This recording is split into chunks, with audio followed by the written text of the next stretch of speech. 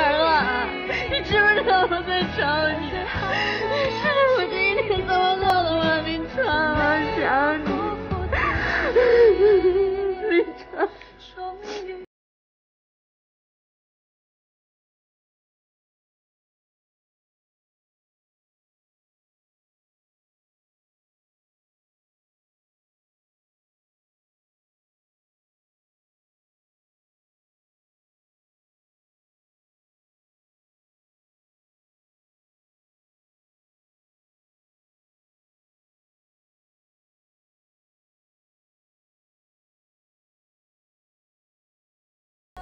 你好，你就是传说中的林川。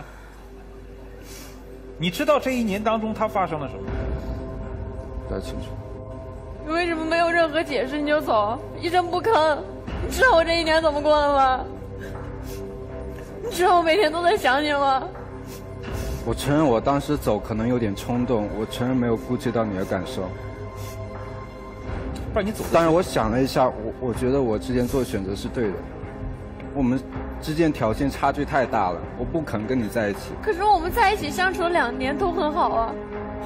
你不知道我有多大压力吗？你身上穿的都名牌衣服，我全身上一套下来也就几十块。我可以和你一样穿几十块钱的衣服呀，我可以跟你一起挤公交去上班，这都没有关系的。我只想和你在一起。珊珊。我我们已经回不去了，过去的事就让它过去。你是不是不爱我了？拿点吃。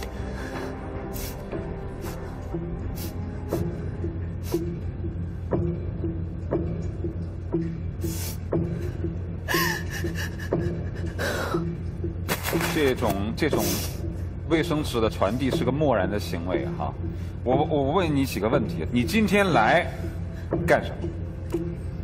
主要有两个目的吧，第一个想澄清一个事实，嗯，因为我不想背着一个二十万的黑锅。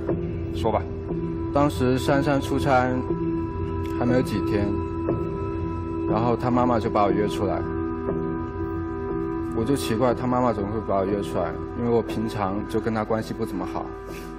当然，我们在一个包厢里，她妈妈拿出了两样东西。他妈妈让我和珊珊分手，然后就可以拿走二十万。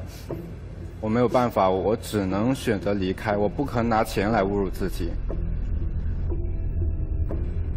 所以我觉得离开，当时离开是最好办法。他不是说过了几天之后你又拿了那二十万？没有，一毛钱都拿没拿过。啊，先掌声鼓励一下啊！我就知道你不会拿。好哥们啊，好爷们儿。第二。主要目的也是为了珊珊，想来帮助她从过去的阴影里面走出来吧。她的阴影就是你嘛，所以我想让她放弃过去。我最后再问你一个最终关键的问题：这一年，你有女朋友了吗？我确实交了个女朋友。有多久了？我们认识半年后在一起。